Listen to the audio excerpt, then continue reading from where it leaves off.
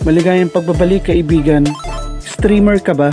At mahilig kang kumanta, maggitara at mag-video okay online? Sa video na ito, ipapakita at ituturo ko sa inyo kung paano gamitin o mag-live streaming gamit ang Android phone at mixer na mayroong USB interface. Tara at simulan na natin ang tutorial na ito. Una sa lahat, ipapakilala ko muna sa inyo ang ating mga gagamitin. Gagamit tayo ng Behringer SL84C.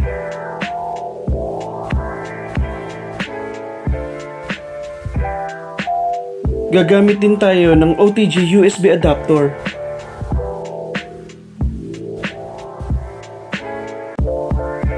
Meron din tayong Android phone. Meron din XLR cable para sa microphone. At syempre, gagamit din tayo ng mixer, ang Behringer QX1202 USB. Simulan na natin. Ikabit na natin ang XLR cable sa microphone at ilagay na rin natin to sa mixer.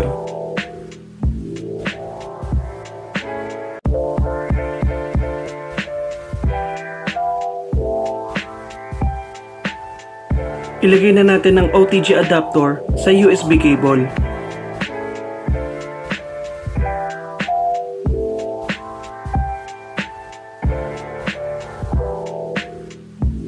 At ang kabilang dulo naman ilagay na natin sa USB interface ng QX1202 USB.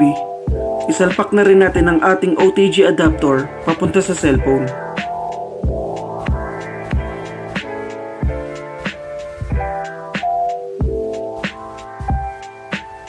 Sa cellphone, pumunta ka lang sa settings at buksan mo ang iyong OTG connection.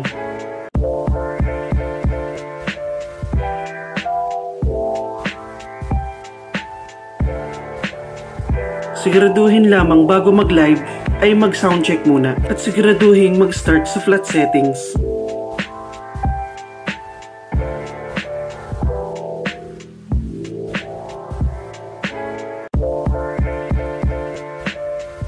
Tara at iset na natin ang FB Live.